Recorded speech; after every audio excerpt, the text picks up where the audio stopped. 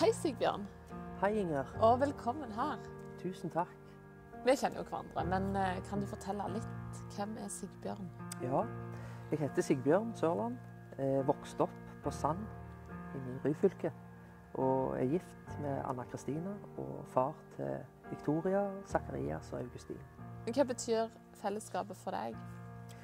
Ja, fellesskapet betyr eh, Det er lett å si at jo, det betyr mye, men, men det gjør det òg i forhold til f.eks. den uh, cellegruppa som vi går i.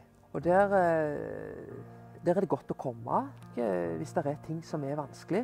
Og det har jeg jo sjøl kjent på egentlig siste, ja, siste halve året, Ja. som har vært ganske krevende.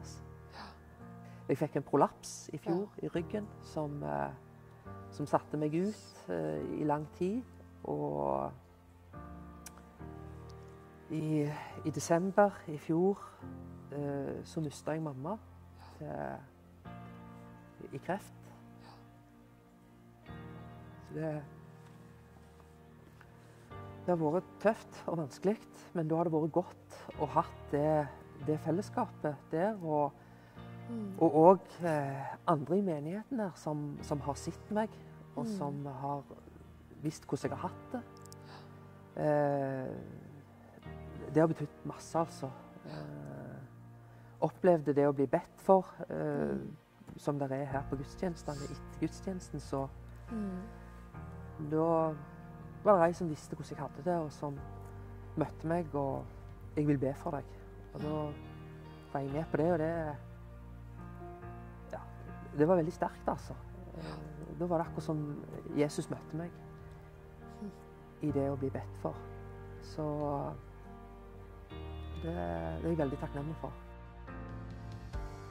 Og òg etter, etter at mamma døde, så så er det jo mange tanker som, Ja. som kommer i forhold til, til hva, ja, hva venter oss. Hva, hva med livet her og nå, og hva med det, ja, det en tror på, det en håper på, og, og for, for tida framover. Da.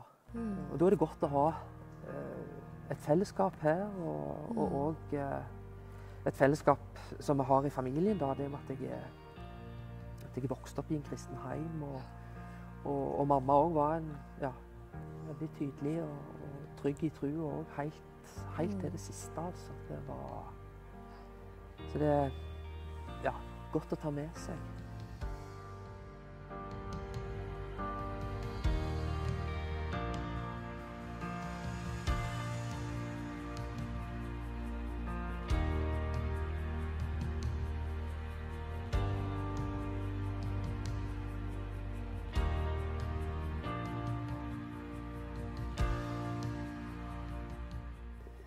Dagene kan være tunge nå òg, det er de. Og i forhold til spesielt det med, med mamma og, og Ja. det at hun ikke er her lenger. Det Ja, det Det er en stor sorg. Eh, så er det så mange ting jeg savner. Mamma var veldig flink til å sende meg meldinger hele veien.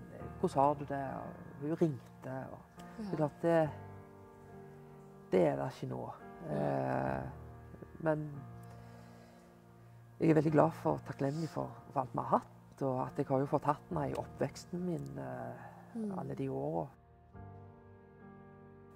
En, en håpte jo, en hadde jo bønner, og at hun kunne få bli frisk og, og bli helbreda og sånt. Eh, alle de tinga der som en, en ønsker. Som det ikke ble noe av. Så du ble ikke sint på Gud, da? Nei, jeg har tenkt en del på det. Om jeg liksom For det kunne en jo fort blitt, liksom. Tenkt Ja. at eh, Hvorfor? Hvorfor dette her? Mm. Men samtidig så, så står det jo òg om det i Bibelen at eh, selv, om, selv om vi er kristne, så, så er du ikke sparte for, for tunge og vanskelige ting. Mm. Så føler jeg heller at eh, Gud er, er med i det som skjer. Gud eh, ser de vanskelige tingene. Og, og det ble jo sterkt nå når vi nettopp har feiret påske. Ja. Eh, så det var jo spesielt nå i år for oss. Da kom vi på, på langfredag. Da, da, da var vi på grava til mamma. Mm. Og la ned blomster der og Ja. Så det var, det var veldig sterkt. Mm. Så, så kom jo påskemorgen og, og den feiringen av livet, da. Mm. Og Ja, det, det ble enda mer altså, tydelig i år på en måte at eh, når det er så Det er fire måneder siden hun døde, men en har jo det håpet og trua om at en en dag skal få møtes igjen Ja. og, og treffe, treffe henne. Og Glede seg over det òg, altså Mm. oppi, oppi det hele. Ja. Mm.